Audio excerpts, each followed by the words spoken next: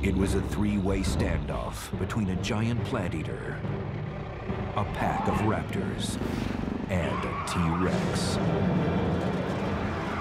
Now, forensic evidence, including incredibly rare mummified remains, let investigators uncover a mind-blowing prehistoric battle. They're the Earth's first fighters, the ultimate predators. New discoveries in forensic science bring to life the prehistoric art of war. This is Jurassic Fight Club.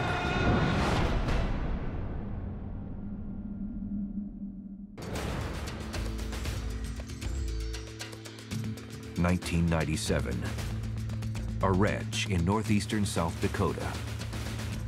A fossil hunter is on a routine dig when he suddenly spots the remains of a large dinosaur jutting out of the side of a hill. To identify the bones, paleontologists now rely on experience and acute knowledge of what other species of dinosaur have been found in the same area.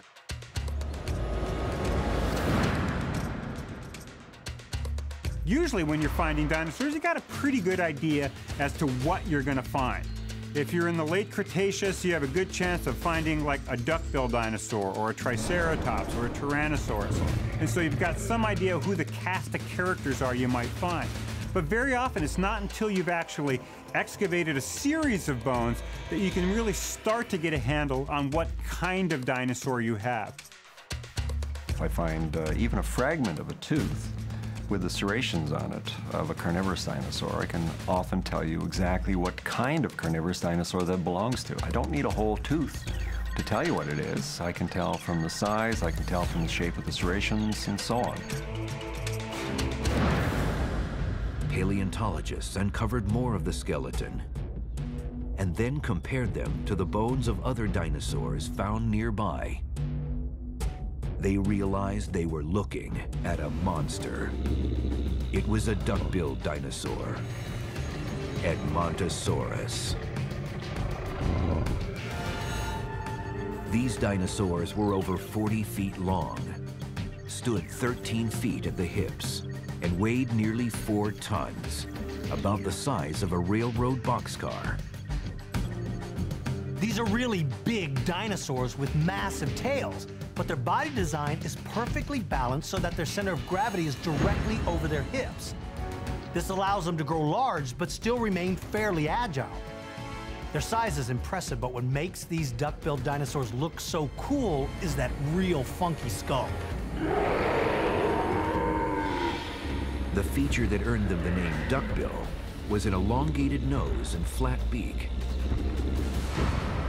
But one of the most striking features of the dinosaur was that its mouth housed well over a thousand teeth. And like a modern shark, it lost and grew new teeth throughout its life.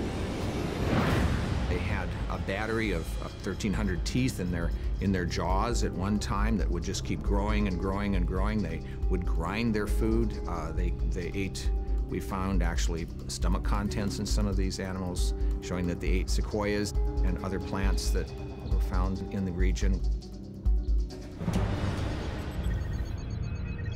The ability to chew through plants allowed Edmontosaurus to swarm across much of prehistoric Earth.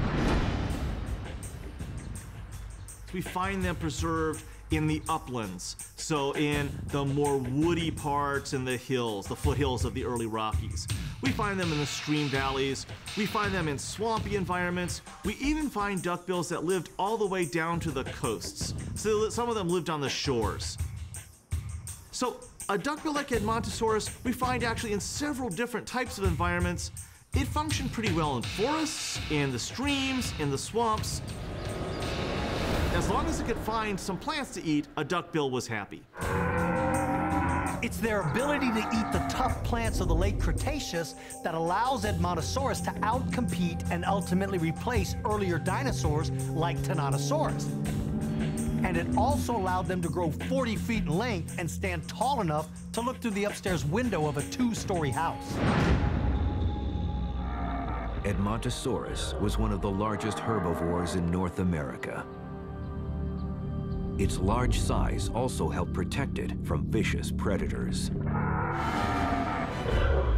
Once these dinosaurs reached adulthood, their size made them less of a target from attack.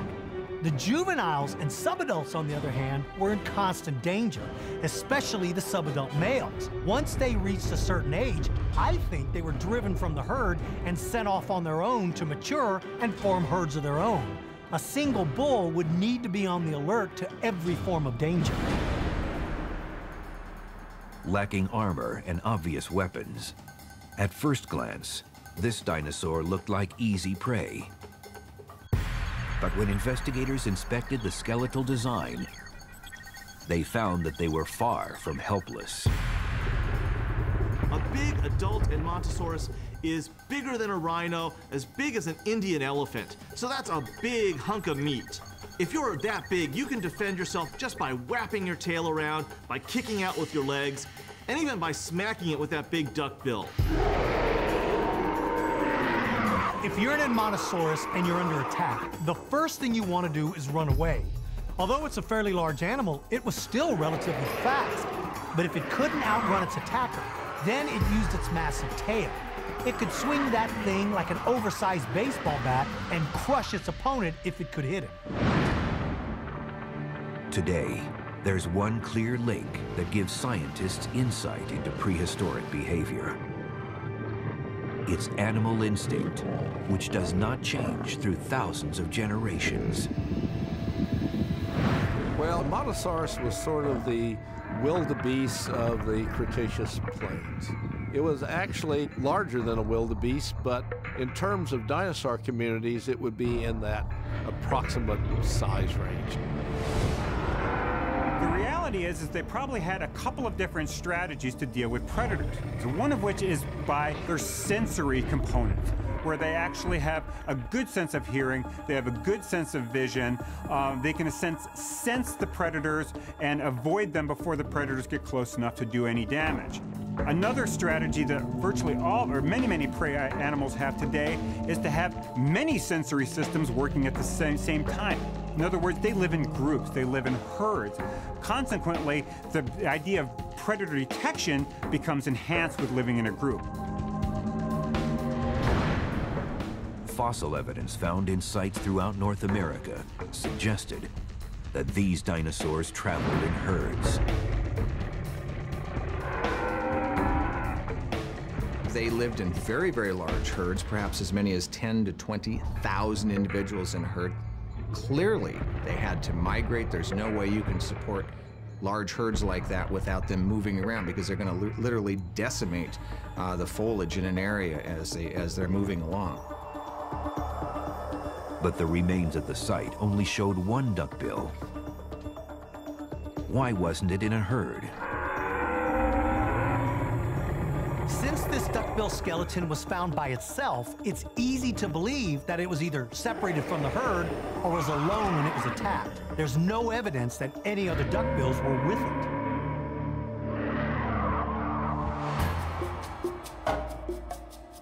When feeding, these dinosaurs stood on all fours.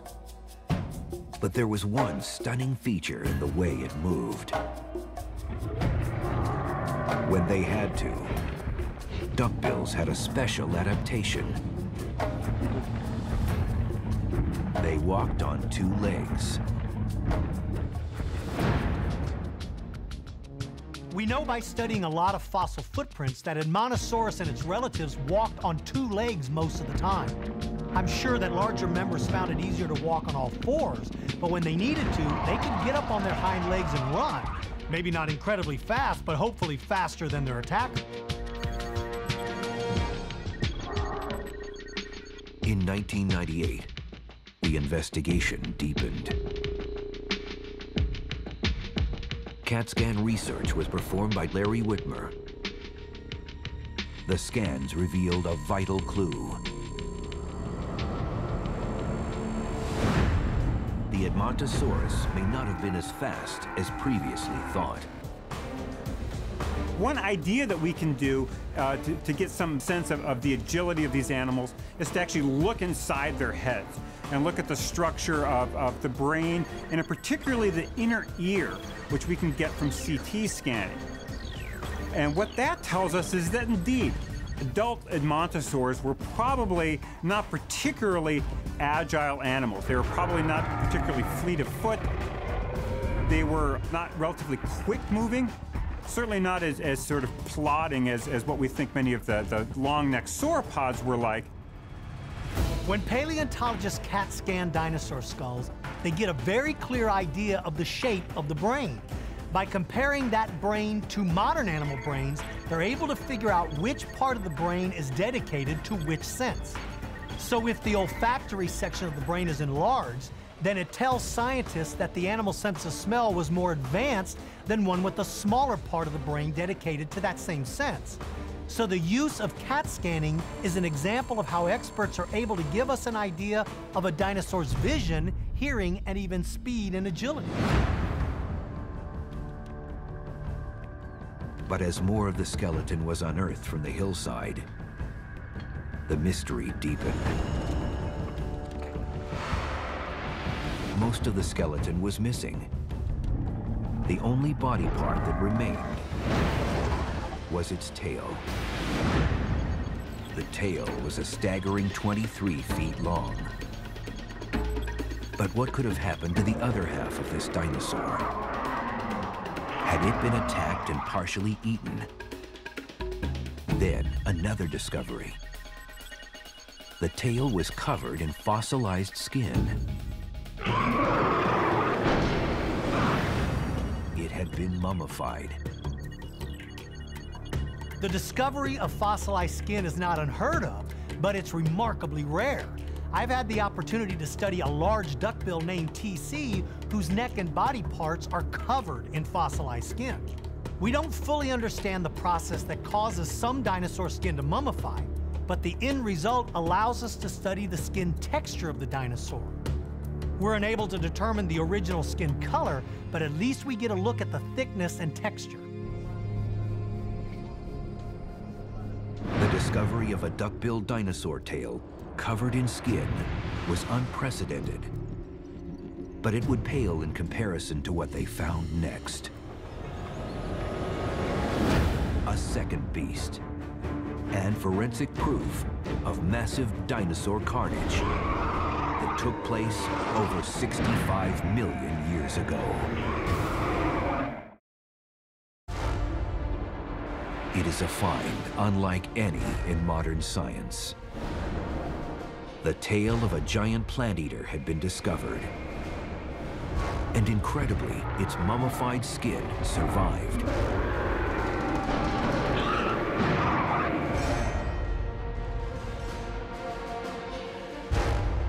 Investigators studied the skin and realized it held something else. Bite marks, deep gashes in the bone. They were from a predator.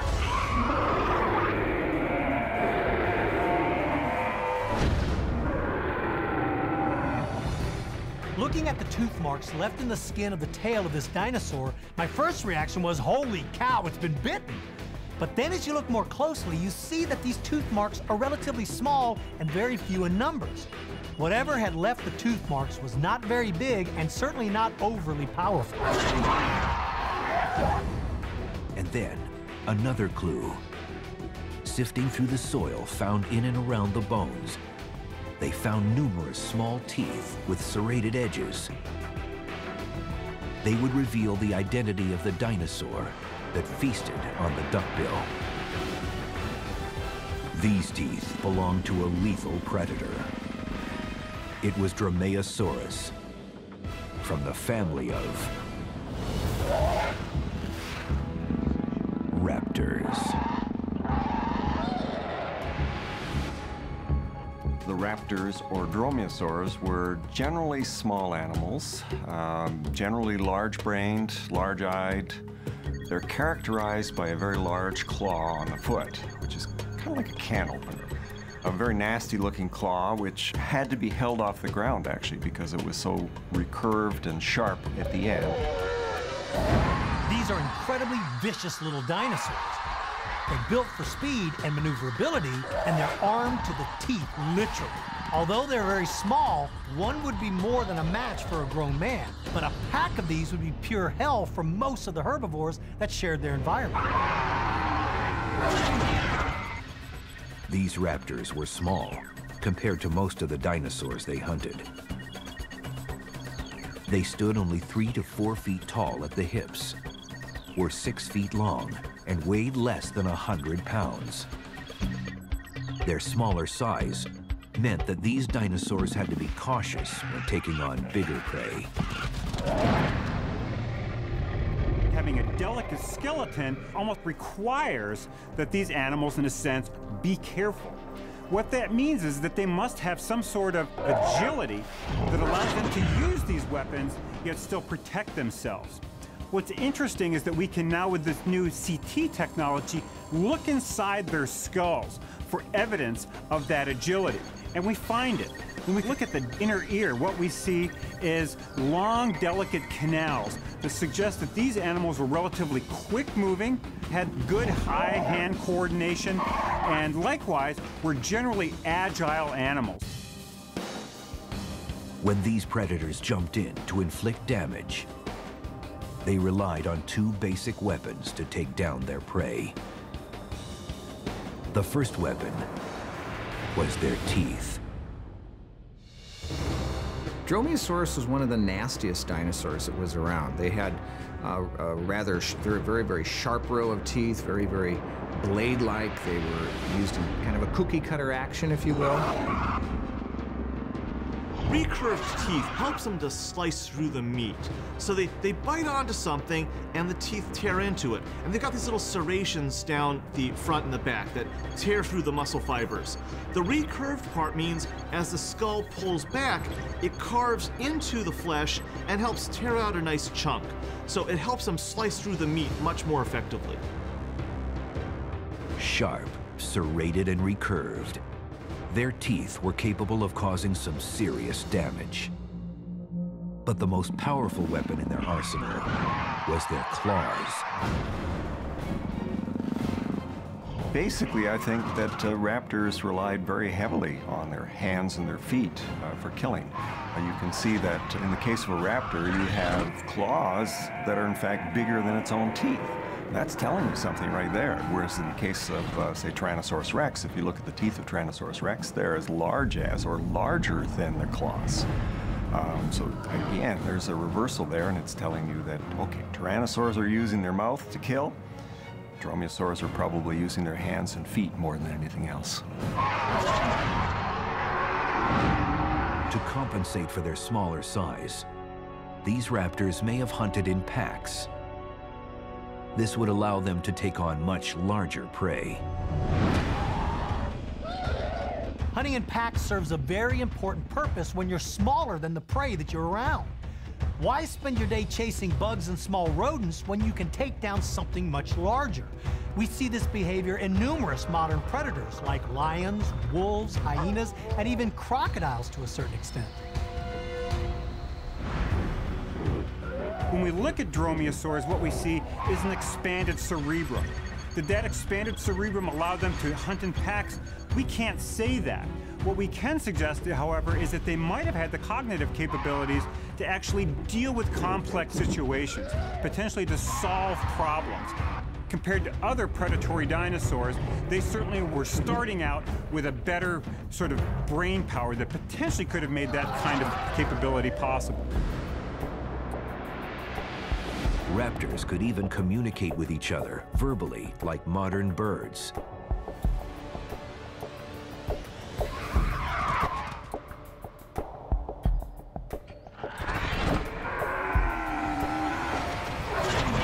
When I looked at the bite marks on the Edmontosaurus tail, I could see that they were not very deep and they were relatively small.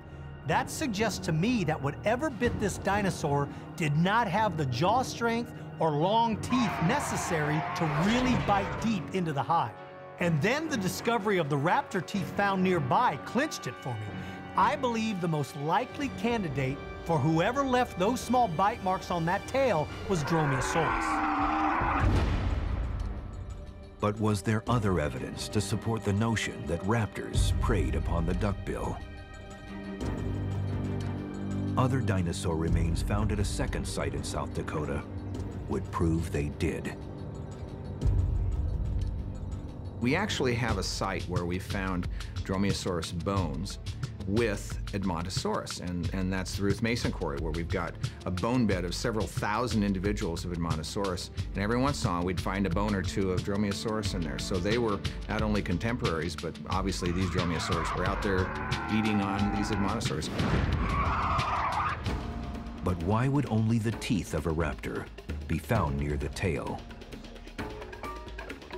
When predatory dinosaurs like Dromaeosaurus feed, it's not unusual for them to break off a tooth. In fact, their teeth are actually made to break off and be replaced by the tooth growing underneath it. This is a great way to ensure that they always have a sharp set.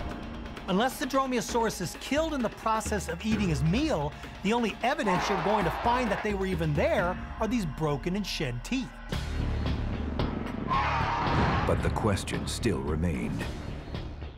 Would a pack of raptors be willing or able to take on a dinosaur 10 times their own size?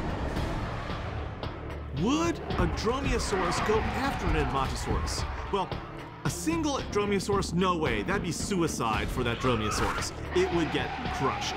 But if there were a situation where a pack of Dromaeosaurus could come at the sides of the Edmontosaurus, the Edmontosaurus is not an armored dinosaur. It's not protected on its sides. The Dromaeosaurus can go after them. And once it starts getting weak, it's going to collapse and they can finally go after the real killing spot, the throat. Once that throat's really exposed where they can get to it, they can bite in there, they can slash, and that duckbill, it's got no more chance at that point. With deadly claws, a mouthful of meat-slicing teeth, and strength in numbers, science began to paint a picture of a battle between a large plant eater and a pack of raptors. But investigators were about to make another discovery. Evidence of a third dinosaur. It was the king of the prehistoric kingdom. And it would change everything experts thought they knew about what happened here.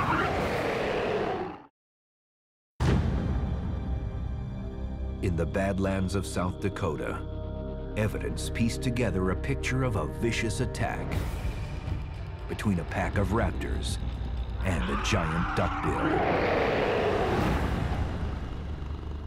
But a new discovery would suggest that these raptors did not dine alone. Investigators continued to study the remains when they noticed that the tail had a second set of bite marks. But these were not raptors. Stunned is the only word I can think of to describe my feelings when I saw those second bite marks on the tail. These weren't thin, shallow slash marks. These were made by big, round, powerful teeth. And there was only one dinosaur in the late Cretaceous who had the teeth and jaw muscles to make those marks.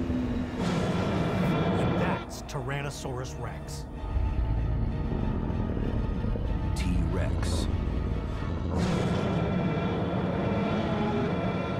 The ultimate predator.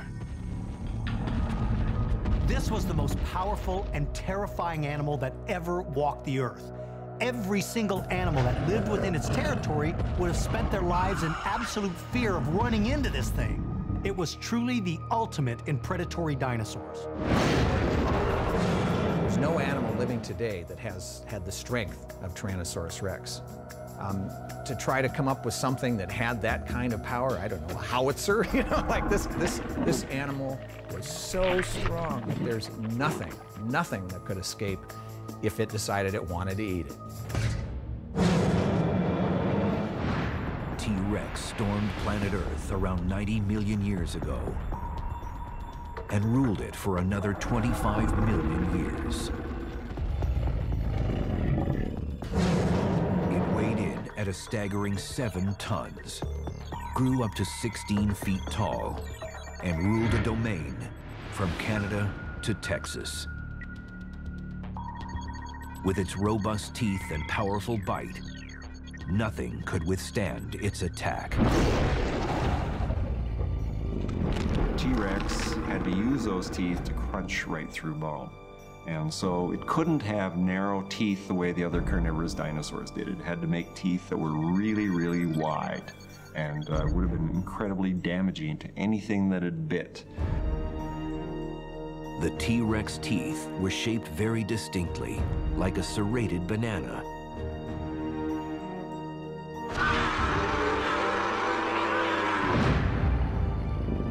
So investigators went back to the drawing board, and one thing immediately became clear. The T-Rex did not kill the Edmontosaurus.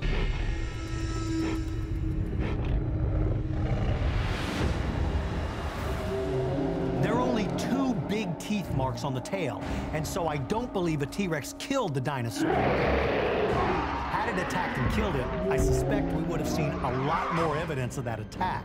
The tail would have been one of the natural targets of the Rex, so we would expect to see numerous bite marks and crushed and broken bones. But because we don't, it appears that the duckbill was already dead before the T-Rex even showed up. If the T-Rex had attacked the plant eater, the bones would have been pulverized. But the size and shape of the bite marks pointed to a raptor attack. It was a vital clue. This T-Rex came on the scene after the raptors made their move. Experts then took a step back and began to piece together how this battle could have started between the duckbill and a pack of raptors. They began by examining the differences between predator and prey. If we're looking at sheer physical strength, the Edmontosaurus far overwhelms the individual Dromaeosaurs. Its individual leg muscles are probably going to be as heavy as an entire Dromaeosaurus. So um, it's going to be far more powerful. And maybe even if you totaled up the muscular strength of all the pack compared to the Edmontosaurus, the Edmontosaurus would still probably win. So this is one where the duckbill is definitely more powerful than the predators. These raptors relied on speed and agility to hunt and kill. It's estimated they could run nearly 40 miles per hour.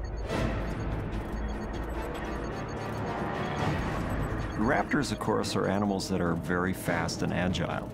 And so the advantage of the dromaeosaurs against an Edmontosaurus would be their speed and agility. By running in and inflicting some damage and then pulling out again, it could wait and see what the reactions are. And because multiple raptors would probably attack at the same time, they would keep the Edmontosaurus' attention away from what the ones were doing in behind until it was too late. Using the tactics of modern wolves than prides of lions would have allowed dinosaurs like Dromaeosaurus to bring down much larger prey. Experts worked off the theory that, as with modern predators, raptors relied on scent to forewarn them of approaching prey. In order for lions and wolves to successfully take down their prey, the first thing they have to do is locate it. This is where an acute sense of smell gives them an advantage. Raptors would have relied on the same sense of smell to detect and recognize their prey long before they could see or even hear it. This way, the pack has time to set up an ambush and surprise their victims. We now know that duckbills were among the most common dinosaurs in North America during the late Cretaceous. Experts believe that it defended itself by wielding its tail like a giant club. It is estimated that a direct hit would be enough to send a small car flying.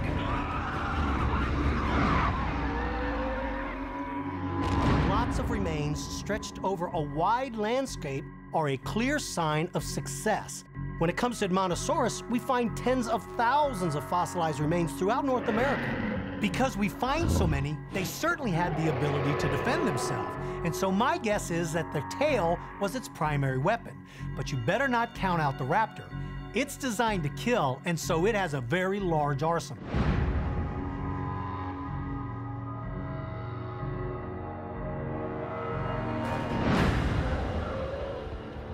Discoveries of groups of Deinonychus found at various sites was one of the first clues that members of the raptor family hunted in packs. Hmm.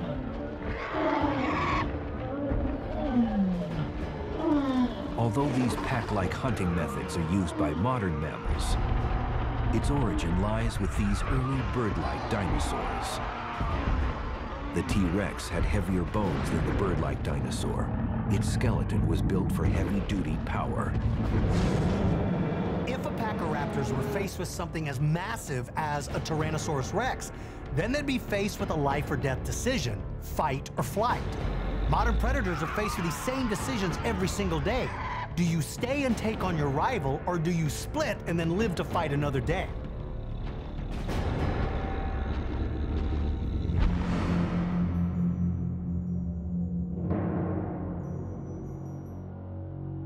The T-Rex marked its territory with scent marks like modern cats and usually stayed within these boundaries. But unlike most dinosaurs, the T-Rex was large and ferocious enough to venture outside its territory without much fear of attack. Based on the evidence we have, and knowing how modern pack hunting animals prey on large herbivores, we have an idea of what could have occurred, but it's not just random guessing. We use as much science and fossil evidence to support it as possible. Using the latest in high-tech scientific advances and knowledge of animal behavior, experts were able to piece together new clues about how a group of raptors were able to coordinate their attack like a prehistoric company of soldiers.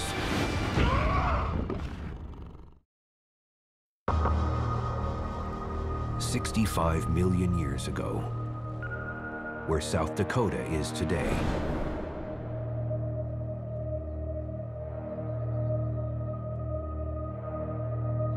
A lone duckbill is searching for food. The evidence tells us he has become separated from his herd. In his search for other members of his own kind, the Edmontosaurus wanders aimlessly into the forest. His small brain is struggling to adjust to being alone. He has no idea that he's walking right into the center of the territory of a pack of Dromaeosaurus. Dromaeosaurus. It is the scientific name for raptors. It means swift-running lizard, and that is how they hunted. They would ambush their prey and run them down.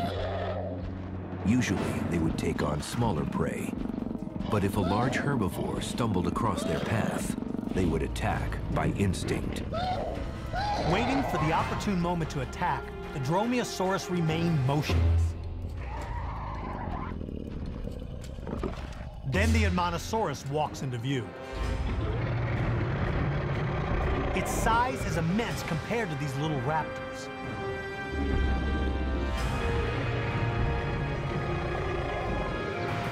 The rest of the pack won't attack until the alpha makes a move.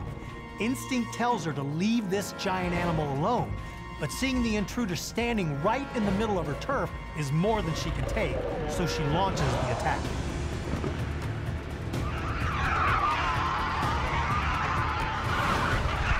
The duckbill had a thick hide and the ability to shake rapidly to throw off attackers. Raptors had terrific balance and were able to land on their feet like cats.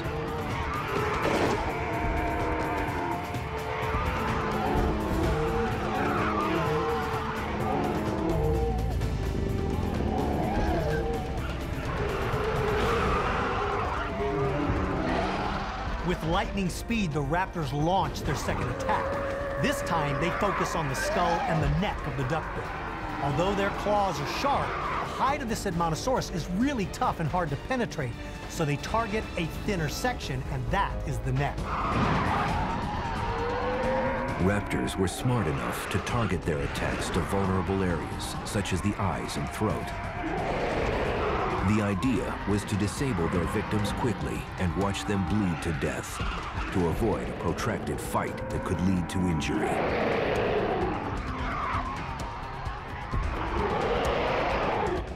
Now on its hind legs, it's in a position to use its massive weight to its advantage.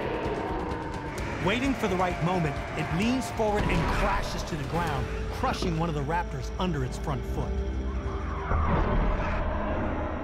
Raptors had hollow bones like birds. Even the force of a wooden baseball bat would have broken them in half. But scientists now know something else. That raptors communicated using quick hand gestures.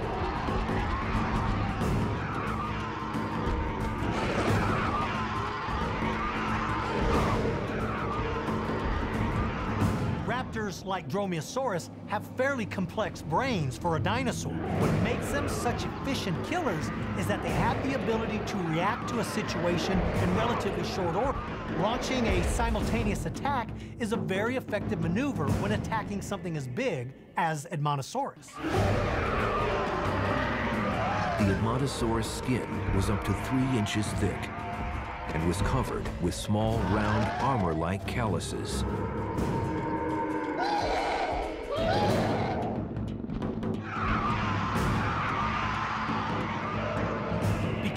Duckbill's hide is so thick, the raptors are unable to score a decisive blow. But in their case, quantity is just as effective as quality. If they can continue to inflict enough small wounds, the loss of blood will have the same effect as one major injury. This slash and dash approach works well for the raptors and it keeps them out of harm's way. Faster, and better armed, the Raptor pack continues to launch an endless barrage of attacks. But they have no idea that they've attracted attention. The monster of the prehistoric world is about to hit the scene. A three-way battle is about to erupt.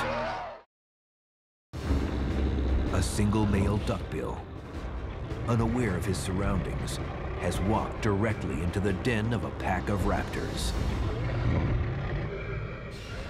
The raptor's assault would often be led by an alpha female.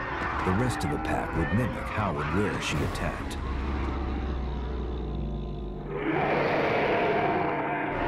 With larger prey, the strategy would be to surround the victim and overwhelm it.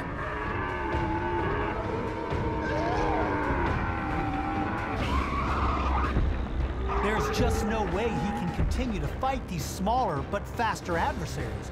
If he can make it out of the forest and into the open, he'll have the advantage. There, he'll have the room to swing that massive tail. One hit on that tail on those lightly built raptors will turn them to mush.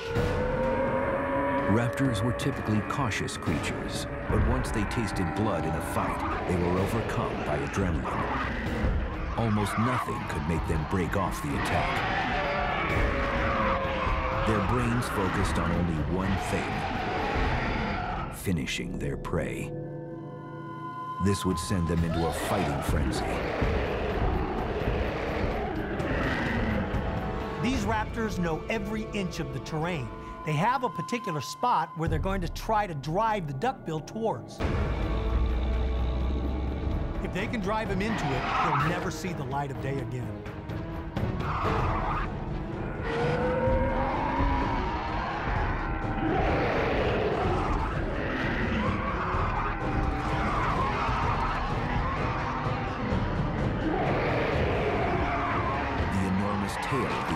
The Edmontosaurus, typically used to balance its massive frame, was reinforced by a series of interconnecting rods that made it stiff but strong, making it a potent weapon that could be swung like the arm of a crane.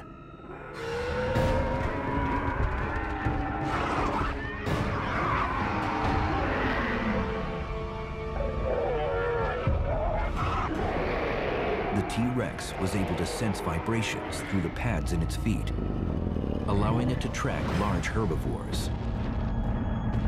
Tyrannosaurus rex is capable of picking up vibrations through the pads of its feet. The sound waves created by the battle are transmitted through the ground into the feet, up the skeleton, and then into the inner ear. So T-Rex is able to feel the battle through his feet. Every time the Edmontosaurus stomps its foot, it creates a ground tremor, and the Rex uses those tremors to zero in on the target.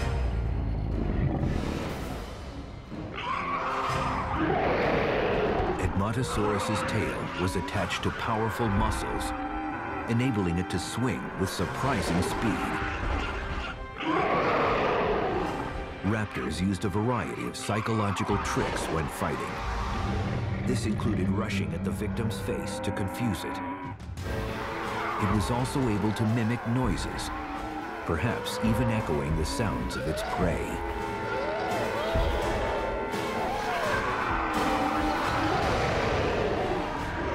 Although these cuts to the throat are not deep, the alpha continues to attack the same spot over and over again. These raptors have succeeded in driving this four-ton meal right onto their dinner plate.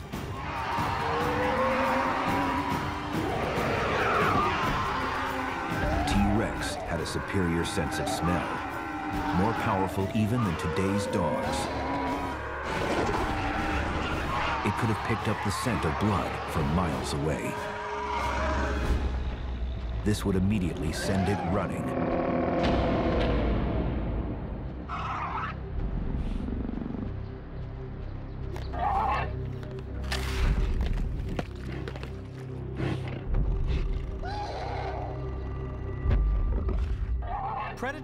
Opportunistic, and the bigger they are, the more opportunities they have. Unfortunately for the Raptors, their battle has attracted the attention of the biggest opportunist in North America, and they don't call him the king for nothing.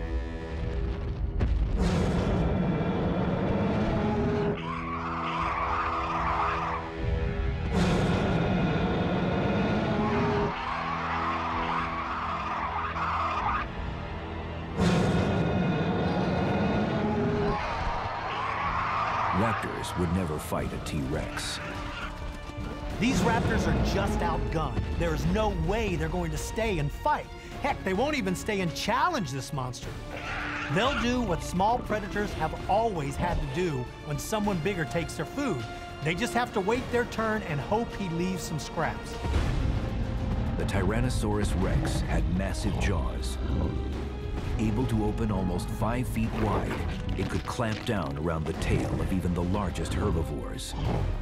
The T-Rex neck was the width of a grown man's waist and incredibly strong. It could act like a massive steam shovel in picking up prey that weighed over five tons. While it didn't fear other predators, it would still drag its prey back to its own territory like a lion would to avoid a potential fight. Although that tail has meat on it, the most sought-after parts of the carcass lie between the neck and the hips, and that's the part that Tyrannosaurus rex carries off. These raptors have put in way too much energy to just walk away from this meal. Their role has now changed from hunter to scavenger. It's a survival mechanism that all predators share. Pride is not a dinosaur trait. Living to fight another day is. Raptors were fearless fighters. They did not fear any other dinosaur in the world, except the T-Rex. Tyrannosaurus was simply king of the world. Even a pack of raptors was no match for this nightmarish monster, who was the most ferocious predator of all time.